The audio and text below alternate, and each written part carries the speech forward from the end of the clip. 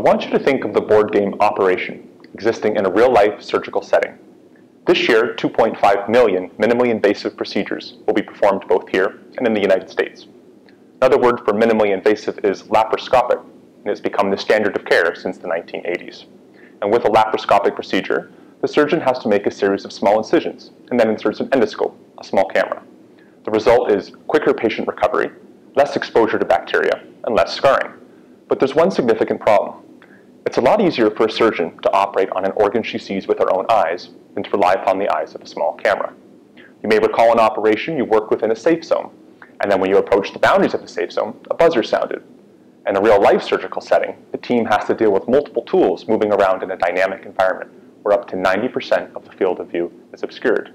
So, in 45 seconds, our patented prototyped medical device called LaproGuard establishes a 3D virtual safe zone inside the patient around the intended surgical site.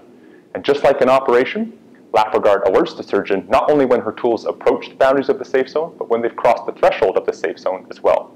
Even better, LaproGuard tracks and stores all tool movement on a black box server, allowing the medical team to review afterwards. Virtual Possibilities is a medtech company based in southwestern Ontario, and we're thrilled to bring LaproGuard to the market.